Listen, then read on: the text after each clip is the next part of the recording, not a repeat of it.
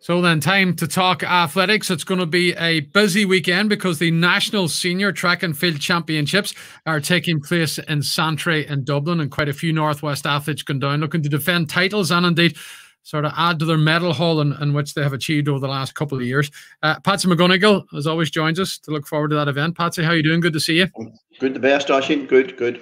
Well, I suppose first of all, Patsy, Mark English not going to the Nationals. He wants to continue his form on high quality fields. He won't be in Dublin, but where will he be this weekend as he as he looks to continue his form heading into the Olympics?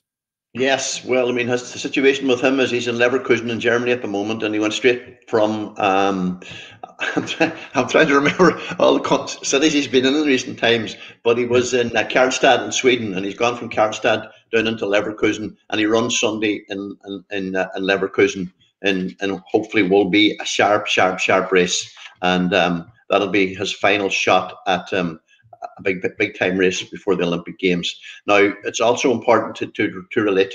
He currently is in 47th position in the ranking lists. Mm-hmm. Uh, 48 people qualify in in in that uh, in that event. So you know he's very aware that he needs to keep his um, his ranking strong, and as a result, this is why he's in Leverkusen rather yeah, than he, the, the yeah, You need to do another 145 then, then Patsy, no matter if he gets as far as point two, as long as it was in that 145 range. Well, he needs he needs he needs he needs to run he needs to run he needs to really run down there in, in that 44 45 area. You know, 145 20 is the standard. So I mean he needs to he needs to get he needs to get he ideally needs to break 145 20. Right, okay. So it's not 100% guaranteed then uh, that he's going to the Olympics as we speak, then, Patsy, is it? Well, see, nothing is nothing is because there's still a few days of qualification left for everybody. You know, he is in a qualifying position. That's very important to say that. But uh, you know, you just have to wait, wait, wait, wait out, wait out, wait out. Now we got a bit of a surprise over last weekend because there was a very fast race in Poland. Two or three more qualifiers came out of that race, and um, we're just watching the scene, particularly in America and in Europe. You know, so you know now, now also it has to be said as well that there are a number of athletes in that in that qualification 48 list that haven't ran for a couple of years. So will they be taken out of it or will they be left in it? There's, you know, it's just getting down to the, as they say now in, in the modern terms, get the squeaky bum time now. It's getting mm. really serious. Um, you know, to see how, how it'll all how it'll all how it'll all fall down now in the next couple of days. Okay, we'll wait to see what happens over the weekend in, in relation to Mark. Absolutely, absolutely. See, see, just, yep. Sorry for interrupting, Oisín, but it's just just to make the point to run in the Nationals, when we discussed this, to run in the Nationals, it's very unlikely. You know, Mark English would be favourite to win the Nationals, and he has won national after national after national, and that would gain him hundred points, but it wouldn't get him the fast time we we we we, we figure. So this is why he's in Leverkusen. Yeah. Uh, can he break? Is he capable of getting that one forty five point two? Oh, absolutely. I mean, sure. If he in the last night in Karlstad, only for atrocious weather, Nobody to nobody to really go head to head with him. He won the race easy, and he was only a couple of couple of bits of a second off it. So I mean, he just needs he just needs somebody to, to, to drag him round, and then he kicks off the bend and he, he he goes for the line. That didn't happen in Karlstad because he was he was he was a quality athlete in in the race, uh, on form on the night, and nobody to challenge him. Will he have somebody to put to pull him around come the weekend in, in Germany? Is yes, there, there's, there's a runner there to do that and said they're, they're, they're setting setting that up. Yeah. Yeah. Okay. Uh, so that's the latest on Mark English. He's not going to be at the Nationals. He's going to be in Germany. We'll all keep a close eye on that, Patsy. But there is, of course, a host of other athletes from the Northwest who are all heading to Santry for three days of action. It gets underway on Friday. We'll start uh, with your own Gerda Sommer Lecky, uh, joint winner of the high jump last year. She had a very, very good jump recently in, in England where she won the uh, the championship there last weekend. She's going on as one of the favourites for, for the high jump again, Patsy. Yes, she is, and uh, you know she just needs to find her form uh, to be sure, to be sure. And um, you know, yes, as you say, she she she tied for the championship last year. She is a, a former winner of the championship, and um, she's a big time jumper. So you have to hope that it would all come together for her on the day. Now she's still trying to form, still trying to find her real form, but um, she she is, as we know from over many many years, she's a quality athlete, and uh, we're looking forward to her performance at the weekend. Absolutely. Yeah. Uh, no John Kelly this year. He's out injured. So up steps the brother James. Uh, he won silver last year. Uh, and he's going to go in in the shot. Gavin McLaughlin of Lifford Strabane also in the shot as well, if I'm right, Patsy. So there could be a couple of medals coming back down the road for Donegal again.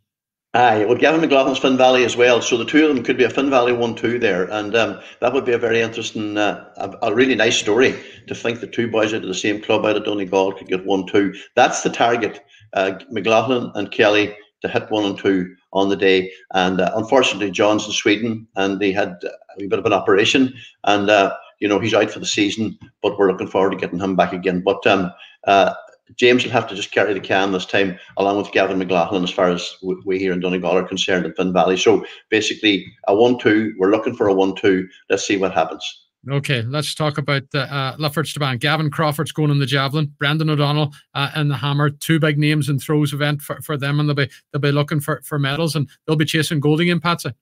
Yes, they will. And Brendan O'Donnell's the defending champion in the hammer. A great achievement for him last year. And he's thrown over 61 and around 61, 62 this year. So, uh, you know, he, he's going to be in there shooting for a medal, most definitely shooting for a medal. And indeed, he'll be thinking in his mind that he can win this. So, good luck to him. I hope that can happen.